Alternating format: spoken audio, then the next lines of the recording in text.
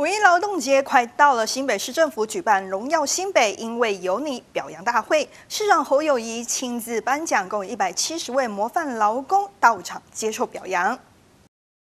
新北市长侯友谊出席参加由劳工局所举办的“荣耀新北，因为有你”表扬大会活动，并表示获颁表扬的这一百七十位模范劳工，在各行各业辛勤努力耕耘，杰出表现，成为大家学习典范，值得肯定。在座今天一百七十位的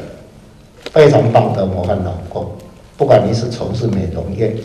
餐饮业，甚至居家保姆类，好多的那种。都是典范学习，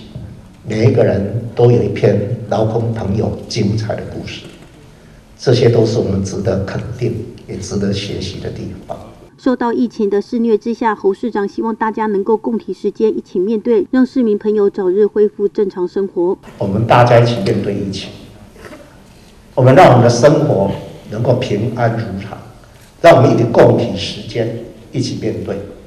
让我们因为有你们的奉献跟牺牲，因为我们政府要好好把事情做好，大家携手并进，也让我们市民能够过一个平安的岁月，这是我最大的心愿。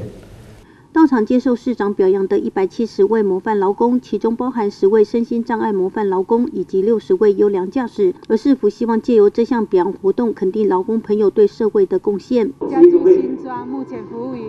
交通部高速公路局。那我负责的是人事人员的业务，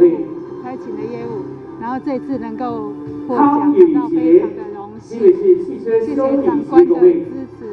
以及同仁的合作。然后我将会更加的努力为大家